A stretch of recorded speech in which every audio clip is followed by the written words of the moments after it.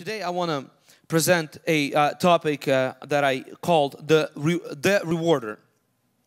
And I want to talk today about from a scripture that you probably already know and uh, but I want to focus on a little different detail of the scripture and it comes from Hebrews chapter 11 verse 6. So we're going to read from Hebrews 11 verse 6 and it goes like this. But without faith it is impossible to please him. For he who comes to God must believe that He is and that He is the rewarder of those who diligently seek Him. Today I want to talk a little bit about God who rewards. God who's who is who has a nature of rewarding those that seek after God, those that go after Him, those that commit their life to Him. See, God says this those that come to me must believe. And what did He say? They need to believe in two things. They need to believe first that He is, meaning that He exists, that God exists. And second, He says that He rewards. Now, to me, when I was when I start meditating, the scripture was kind of weird. I mean, I could think of many different things that God could say uh, that conditions upon coming and pleasing Him. Like maybe the first first condition makes sense you know you have to believe that god exists. Obviously if you want to receive something from god if you want to have a relationship with god first basic concept first basic thing you have to understand that he exists he believes. So that makes sense. That we don't question. I, I hope none of you here be like well that's that's you know that's that, that's confusing but it's pretty straightforward. But the second thing, he says that I'm a rewarder. To me, I could think that God could say, you know, you have to remember that I'm holy. You have to remember that I'm righteous. You have to maybe uh, say, I am love, or whatever other characters. Why did God choose to say that?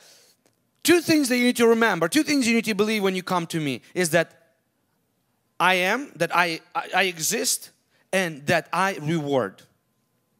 And I begin to study that because I, I begin to look from Genesis to Revelation, and I begin to notice that everywhere throughout from Genesis to Revelation, God reveals Himself and He makes sure that people knows that He's a rewarder. He comes to Abraham and He says, Abraham, I'm your shield and I'm your exceedingly great reward. He was telling Abraham, Abraham, come follow me, come come walk before me. And he makes sure to tell Abraham that, listen, when you do that, I'm your shield, I'm your protection, I'm your exceedingly great reward. And throughout the Bible, I can bring you scripture after scripture from Old Testament all the way down to New Testament, all the way to Revelation when Jesus said, I am coming soon and my reward is with me. I mean, God, why reward? I mean, my justice is with me or my you know my love or my my holiness or whatever why why the reward? And today i want to spend a few, a few moments and i want to take you uh, through a few few things and just to show you why god wants to see why god wants us to see and regard and believe that he rewards those that follow him those that seek him and those that go after him. Do you want to learn today church? You know everywhere throughout the bible uh, throughout the parables jesus represents himself or represents Father as a rewarder.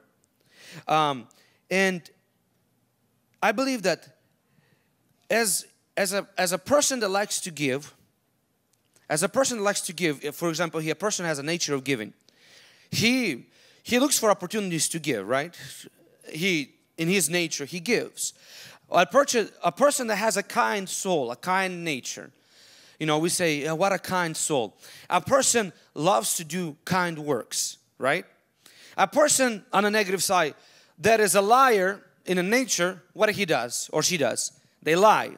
Or a thief in a nature, what did they do? They steal. That's what they are. When God Himself, He says, I'm a rewarder, He reveals His nature. That means that God loves to grant you with great things, that God loves to bless you, that God looks for an opportunity to reward. Just like a giver looks for an opportunity to give and just like a kind person is looking to do kindness. That's God's nature. Um, first thing I think, I believe, the reason why God wants us to see Himself, uh, wants us to see Him as a rewarder, is so that we he wants us to believe that he is not a taker but he is a giver. Have you ever had a, a situation where you heard or you heard somebody that said something about you said something about your reputation said something about your character that wasn't true? For example somebody said that you were a liar and you know you didn't lie. I mean it's offensive to you. I mean it's it's your it's your character. It's your name.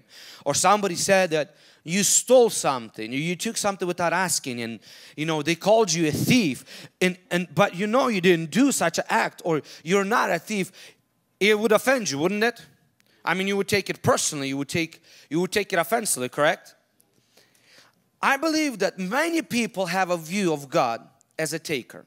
He wants to take your time he wants to take your money. He wants to take your energy, your effort. He wants you to serve Him. See, most of religions in the world, uh, they demand something of, of you. They demand something. They demand worship. They demand they demand adoration. They demand recognition. And a lot of times when we come from the world, we'll have that kind of mindset is that God is this big God and He demands things. He takes things. He takes my tithe. He takes my offering. God is the one that takes my energy and my worship, my, my concentration. He takes, you know, because I have to come to church on Sunday and Wednesday and then I have to come on Friday and then I have to do a home group and then, you know, I have to be an example to, all, you know, God, I just give, give, give. And I believe God left it specifically in this scripture. He said, he who comes to me, he needs to understand that I exist, that I am, and that I reward, that I don't take, but I give. That I am a giver. I, I honestly think that God gets upset and He gets offended when we have a perspective and a view of God that as God who takes, God that only requires things of us. I believe that God is not a burden. But God, He came to lift our burdens. He didn't come to give us religion, to get a set of rules and load us up.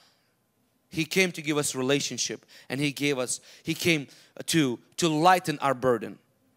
So there was a story, this, there was a, um, there was a, a lady, Elisa and her husband, and they, had a successful business. They were an oil business uh, in Mississippi. They were drilling. They had some chunk of lands here and there, and where they were drilling uh, oil, and then they were producing oil, uh, selling oil, and the business was doing okay. And then for a next couple of years, uh, the business started going down.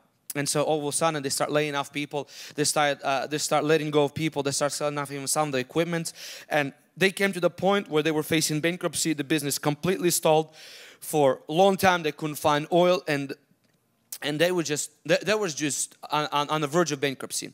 And so one time as lisa was flipping through the channel she came across uh, Joel Osteen's TV show, and she, she would start listening to, to the message. She really got encouraged. Then next time they tuned in with her husband, uh, they start listening, and they really got encouraged. And they said, you know, we need to fly down there, and we need to be there at the service. So they booked a flight from Mississippi down to Houston. They flew there. They were there. They came there on Saturday. They were there on. Um, on, uh, uh, uh, on Sunday service and after service they flew back and in their heart they felt like you know what we need to make this our home church we need to keep coming so every single week they booked the cheapest flight that they could from Mississippi Mississippi where they were living and they flew on Saturday, rented a hotel, stayed at the hotel, went to the service, and after the service, they were greatly encouraged. They would go back and go back to their town, go back to the city, and that and that kept going for some months. And as they were doing that, as they were staying commitment that was a sacrifice for them. They barely had any money but they stayed committed to god. They stayed committed. They, they god saw their sacrifice. One time when they came they really got encouraged. They get back they got back home. Um, the husband just felt this unction of the holy spirit. He felt this prompting to drill in this specific land to drill in this specific place. And they kept, and he started to drill. He hired the workers. They took out a loan and they started drilling. They drilled one hole. They drilled two holes. They, drilled, they drilled five holes and they drill 10 holes, nothing. But deep down inside, he says, I know, I know, I received something. God will honor us for the sacrifice that we made.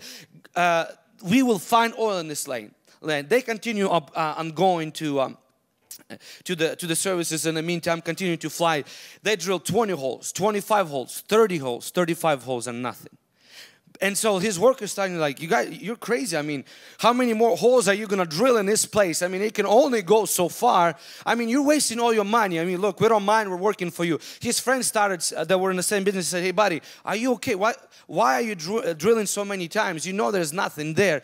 That this land is done. But he said, no, you know what? Deep inside of my heart, God put it when I was there that I need to drill. He drills 40 times. He drills 45 times nothing. Drills 46 times, 47 times, and 48 they strike oil. And now, no, they don't take commercial flights over to Houston. They have their private jet and they're flying every single day, uh, every single service there, and, and come back here for Monday to do business. They honored God, they committed, they sacrificed, and God honored the decision.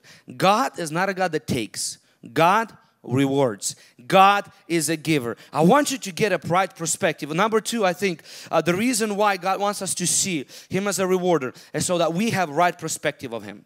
Like I already mentioned, is that nobody likes to view, nobody likes, you don't like if somebody views you in a bad light. If somebody sees you as a thief, as a, as a person that always takes, as a nagging person, a person that always, you know, you've had some of those friends, uh, the type of friends uh, when you go out, oh, and I forgot my wallet. You know, don't raise your hand, okay? We all have those, okay? I forgot my wallet. And every single time when you go out somewhere, they always forget their wallet, okay? You, you know, uh, we don't like, not, not necessarily don't like those kind of people, but you know what I mean, okay? They just get a little burdensome. I don't want you to see God as that every time you go out, do something for God, that God only takes. God specifically left this in the scripture and, and he specifically throughout the Bible he mentioned and he always reminded us that he is a rewarder. Anything that you do for him Apostle, uh, disciples came to Jesus and they said Jesus we left our homes we left our families we left all things behind. What are we going to get in return? Jesus said that in this life you're gonna get more houses, more cars. I'm paraphrasing, obviously. Uh, you're gonna get more, more friends, more family members. You're gonna get more, but how much more in eternity? Jesus told his disciple, "Listen, I'm not a taker. I'm a rewarder. Those that follow me." I believe that the right perspective produces right, uh, right uh, expectation. When you have an expectation. When you have perspective that God rewards for everything that you do, you will have an expectation. You will have an expectancy to wait and expect your reward. Expectation is simply an expression of your faith. Expectation is a breeding ground for a miracle. See, if you go with the kind of attitude that God always takes, God, you know, I, I have to do this for God, I have to do this, instead of I get to do it.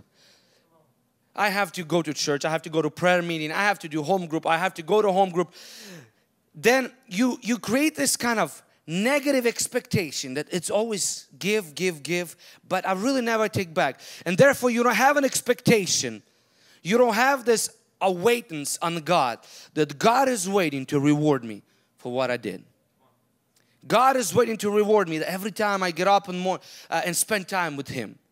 God is waiting to reward me for every time I do something for His name's sake. God is waiting to reward me every time I sow my tithe, every time I help somebody in need, every time I pay some, I pay for somebody's gas, buy somebody lunch. God is waiting to reward me. When you have the right perspective, you have expectation. And expectation is an expression of your faith. The reason why, another thing why I believe what God wants us to expect a reward. See, God created us, so He knows who we are, how we function, and He, because He created us that way.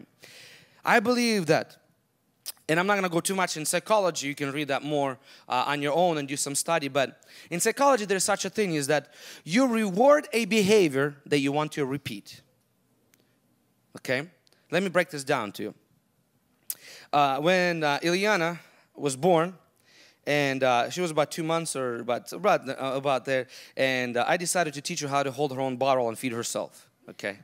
So no i'm not a cruel dad. I was just i was just experimenting a few things. I had to you know i had to have some kind of example. So the way i did it is this is that i gave her a bottle put her hands on it. I gave her the bottle and she starts sucking it. And whenever she let go of the hands, obviously the bottle would fall. So I would wait for a few minutes, you know, to see, you know, she's looking for a bottle, she's looking for a bottle, trying to find a bottle, and there's no bottle. And then I would take again the bottle, put it in her hands and bring it to her mouth, and she'd hold it and again let go, and then it would fall. And so by this, what I was teaching is that I was teaching behavior, behavior holding the bottle. The reward was the milk, right? And so she understood after some time that if I hold the bottle, I get to drink the milk for a little bit longer. Okay? And so, sure enough, it worked. Okay? From probably about two months or so, three months, she was holding her bottle on her own. People are actually, our friends were surprised. She's like, she holds her bottle already? Yeah, a few, few experiments, it worked. Uh, the other time, uh, the other time, when she just started walking about eight months or so, um, we taught her to throw away her own diaper in the garbage. Okay? So, how did we do that? We, we gave her the diaper and we led her to the garbage. We helped her toss it into the garbage and we went, yay! She get all excited and we'll give her a treat. And so after about a dozen of those times, no, it sounds cruel, okay? But look, it works, it works, okay? after some time, you'll get my point here if you haven't got it already. After about a dozen of times, she was more than happy to take her diaper and throw it in a throw it in a trash bin okay? And right now she even learns a few words so she goes ew. And I was like yeah what are you gonna do about it? And she takes it and she goes and sometimes sometimes the door the, the, drawer they're locked. We have we have a little rubber band so she doesn't go and go in there and try to take out things that she shouldn't. And it's locked and she'll call us and to make sure that she sees that we put the diaper in the in the trash bin. And we go yay and she's happy. Woo. And what happened is that we rewarded the behavior that we wanted her to repeat. See God created you and me and he understands how we function. He created us to function this way. That's why he said I'm the rewarder so by rewarding the good behavior God reinforces that God encourages us to continue to live in character, to continue to live in pursuit of Him, to continue to live in seeking Him, in dependence on Him, to continue to serve Him, to continue to serve people. Because God is the reward and He knows if I reward His good behavior, her good behavior, it will be repeated once more. I believe God wants you to see today, I want, wants, wants you to see Him as a rewarder. I believe that God wants you today to recognize that He's not a taker. That He sees everything that you do for Him. He sees every time you're in the background and you're not notice and you carry the load. He sees it. Every time you put work in and maybe it doesn't get recognized by your boss, it doesn't get recognized by your leader, doesn't get recognized by your pastor, that he's looking at that moment is he's waiting to reward you. That's why Jesus warned the Pharisees. He said, the fact that you go around and pray in the corner streets and fast and you fast and you let people that you, that you let people know that you fast, he said, you already received the reward. He said, but if you do it secretly, if you do it for me, if you do it with quality, if you do it with integrity, if you do it, if you put your best in it and expect me to reward it, he said, what's done in private will be rewarded in public because I am God and I cannot deny myself and I'm God that rewards.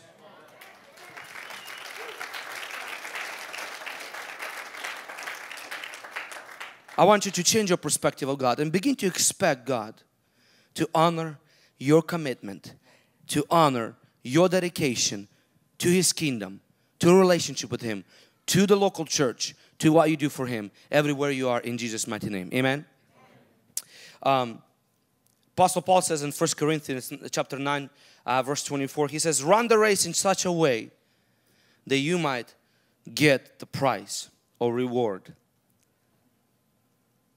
In Hebrews chapter 12 verse 1 apostle paul also who at least we believe it was apostle paul who wrote it says let us throw off everything that hinders and the sin that so easily ensnare us. I believe that there is a thief that's trying to rob us rob you of your reward. And bible says he is devil himself. And he is looking how to steal. Bible says he came to steal kill and destroy. And one of the tasks that he's trying to do is to steal the reward that you so earnestly working for, you so earnestly ex expect. And the way he does, we just we just read in Hebrews 12:1, is he do, he does it by two things. He the, the way he steals your reward is by sin or by weight that Bible says easily ensnare us. Let's talk about sin. Sin, while it might offer something with you to you with the right hand, with the left hand, it will take everything that your life depends on. It will rob you of your uh, of your reward. It will rob you of your prize. Sin is poison. While it might taste good in the beginning, but at the end it kills you.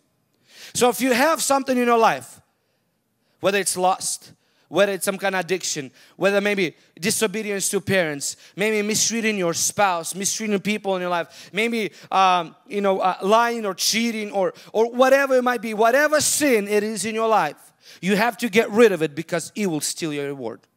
Satan is a thief. That's his nature. God is a rewarder. That's his nature. He wants to reward. He wants to give. Satan, he's here to steal. And the way he steals from your life is he puts some cigarettes, he puts some alcohol, he puts a little bit of partying, he puts a little bit of uh, uh, mistreatment. You mistreat your spouse, you mistreat your uh, mistreat your kids, and he brings sin into your life so that he can trap you, and so that he can steal the reward that God has for you. You have to catch the thief, kick him out of your life, get rid of sin, so that you can enjoy the blessed life that God has for you. Now, that's that's pretty clear for us, and I'm sure most of us that we understand this. But there's a second thing Apostle Paul says that there is the weight that weighs us down. And he says you have to run the race to get the prize. Now the weight can be many things. It can be fear in our life that's stopping us from moving forward. It can be anxiety. The weight can be laziness, lack of motivation. The weight can be lack of focus or negativity or bad habits. They're not necessarily sin, but they're just things that keeping us down. You know, watching too many Netflix shows, spending too much time playing video games. Instead of reading a book, you know, we we watch some nonsense on on on, on, YouTube, uh, on YouTube and all this stuff. Like, you know, some one of the memes uh, that's going around. He said started started looking for a apple pie recipe. Ended up watch uh, ended up being convinced that 9/11 was a conspiracy theory. okay. That's, that's kind of how it is with our lives. That weight that easily ensnares us. You know, we spent half a day figuring it out who got traded to what team? And look I'm, I'm I like all this stuff and it's all has its place. It all, all has its whole, all has its time. But sometimes we don't notice how it takes two to three hours you know. Make sure we catch up with basketball. Make sure we catch up with NFL make sure we catch up with uh, with Kardashians and whoever uh, and Jonas and all this stuff. And at the end of the day we wonder why we lack focus why we lack motivation why we lack why we lack that determination to reach the goal reach the prize reach that that thing that God has for us, reach that business, reach that opportunity that God has for us. Because Apostle Paul says that there is a weight that ensnares us, that slows us down to run the race. And if you're gonna run the race, Apostle Paul says, run it so that you can receive a prize at the end. Run it in such a way, run it with an endurance, run it with a persistence, run it with consistency, so that when you're done running, you get your crown. You get your prize. God can say, good, faithful servant, here is your reward. Lay away the weight. Lay aside the weight. Put away the sin so that Satan has no access to your life. So that Satan has no access to your life. But without faith, it is impossible to please God. For he who comes to God must believe that He is, and that He is a rewarder of those who diligently seek Him. I encourage you, be a diligent seeker. Be a person that is committed to God. Commitment to God always pays off. Commitment to God always pays off. Commitment to God will get you through hard times in life. Commitment to God, love for God will get you through the most difficult times in your life and it will get you to the blessed life. See, in order to get the reward, you must meet the demand of the reward. Have you ever seen one of those lost lost dog poster somewhere in the neighborhood in which says, you know, lost dogs and so a description of it and it says reward of $200, $500, right? If you would go up and look for the dog around, you didn't find and then you come back to come back to the owner and say, hey, I saw the poster. I looked for your dog.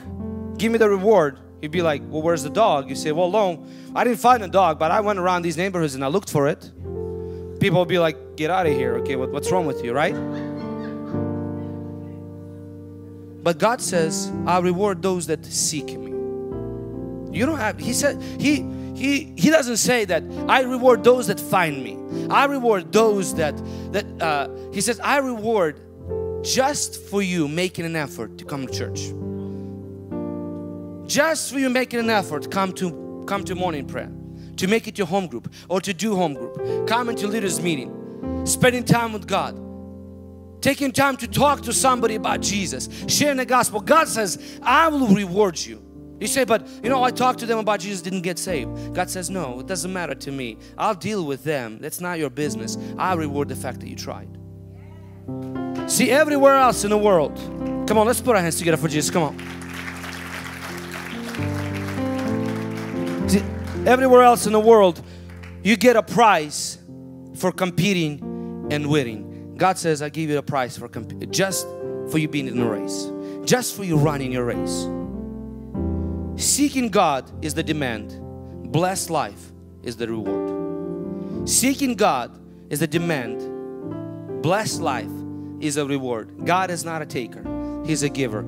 He's the one that can bless you beyond what you can think or you can imagine. He's the one that can give you successful marriage. He's the one that can give you a successful business. He's the one that can give you a successful career. God is the one, when He rewards, no, no one can match His reward. When He rewards, no one can come close to what He can give you. In Jesus' mighty name. Seek the reward, not a reward. Uh, seek a rewarder, not a reward. Make a priority to see God. Make God your number one priority. Make God the one that your soul longs for. Uh, David says that my soul thirsts for you. My soul longs for you. No wonder God has called him a man after his own heart. You know, when Ruth came out and she was a complete heathen, she didn't know anything about God, but she decided to live with Naomi and she said, Naomi, your God will be my God. I'll do what you want me to do. And because she made Naomi's God her God, Bible says in Ruth chapter 2 verse 12 that she received full reward.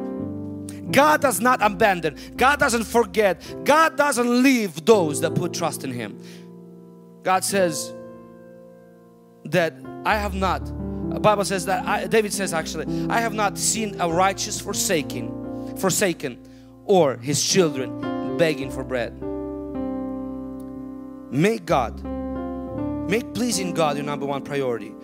Matthew chapter 6 verse 33 says, Seek the kingdom of God first and everything else will be added to you. Serve God, serve His people. Remember, God is the rewarder. You know, um, I come from a very large family. My grandma comes, uh, my grandma had uh, 16 kids uh, and when they were growing up uh, in, it was back then in the Soviet Union times, it was already difficult as it is economically wise, but even worse because they were Christians. And because they um, because they believe God a lot of social programs were not available for them. A lot of things were disclosed for them. And and because having a big family was much harder to provide for them. And their neighbors and other people they told them you guys are crazy. You have a lot of kids and you believe in some kind of God or you getting persecuted for. You and your kids you will starve to death there will be nothing out of your family but lo and behold when you put your trust in God, God never abandons you. Yeah, did they go through difficult times? Yes, they did. Did they go through hard times? Yes, sure they did. But God saw them through all of it. And today, if you look at the family, family is big. Family is is is well put together. You see people uh, in the family are serving God with there yes there was some few troubles on the way a few things but if you look at all the kids are serving God and everything is well they're doing well financially they have their own businesses today we live in, in America we're enjoying this land and if you look at those neighbors around on left and right that condemned and said you and your God and your children will starve to death and if you look at their families they're destroyed by alcohol destroyed by drugs some of the kids already died from overdose and there's nothing of them when you put your trust in God God will never abandon you, never leave you. Will you go through hard times? Yes. Will He use the hard time to shape you, mold you, prepare you to produce quality character in you? Yes. But at the end, He always and always rewards those who seek Him. I'll finish with this story.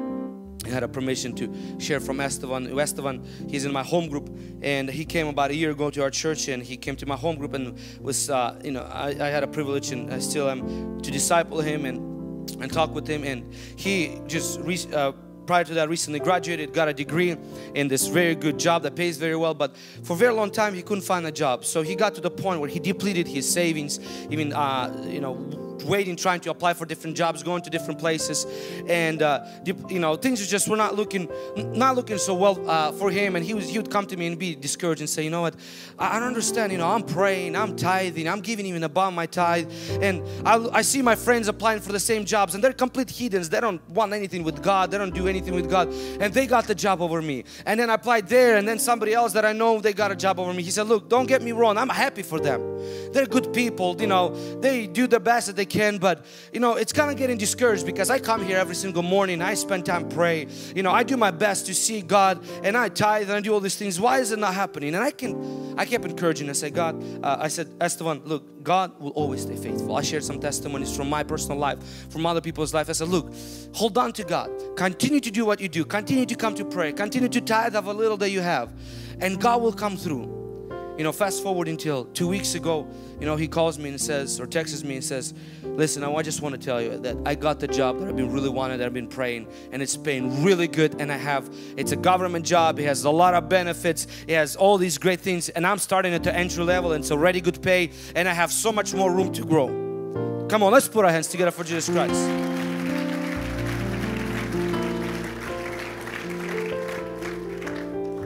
Acknowledge God in all your ways and God will make your way successful. That's what the Bible says. Put God first in your life. Make Him a priority. Seek Him diligently. See the word seek means make it vital. Make God vital in your life. Make Him your very breath. Make Him your very existence. Make God a person that you can live without. And I can promise you that with God, you'll live a better life than anybody else out there in Jesus' mighty name. Have you received something this evening?